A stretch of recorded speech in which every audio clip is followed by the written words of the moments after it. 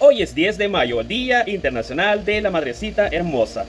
Me puse a pensar una pequeña cosita. Bueno, saber que muchos hoy suben a sus historias, suben a Facebook, suben a todas las plataformas posibles que aman a su madre y todo eso. Bueno, decirles que qué bendición tener a su madre, ya que muchos no la tenemos.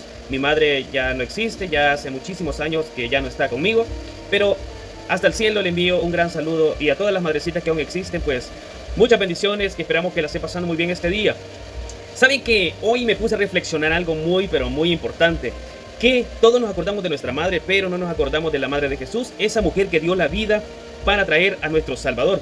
No sé a veces cómo decir esto, pero a veces admiro mucho a los que se llaman evangélicos, cristianos. Muchos de estas personas hablan de Jesús, de Jesucristo, del Salvador, aman a Jesús, aman a Dios, pero odian a la madre de Jesús odian a la Virgen María. Eso como que es un poquito extraño, porque ¿qué pasa? Cuando nos muramos y todos queremos ir al cielo, todos quieren ir al cielo, los evangélicos quieren ir al cielo también. Y qué gran decepción se van a llevar cuando vean que María, la que tanto molestaban, va a estar al lado de su Hijo Jesucristo.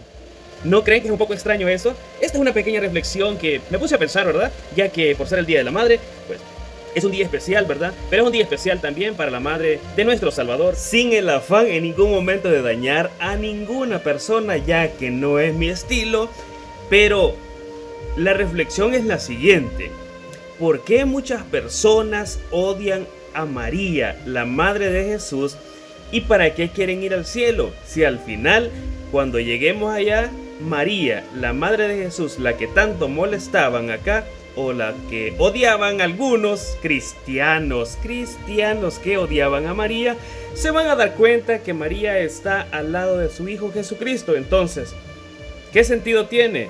Si odias tanto a María, ¿para qué quieres ir al cielo? Esta es mi pequeña reflexión, esperamos que la hayan disfrutado. Gracias a todas las personas de mi canal, bendiciones. Saludos a todos, comenten algo, Dios los bendiga y nos vemos en un próximo video. Soy el payasito bomboncito.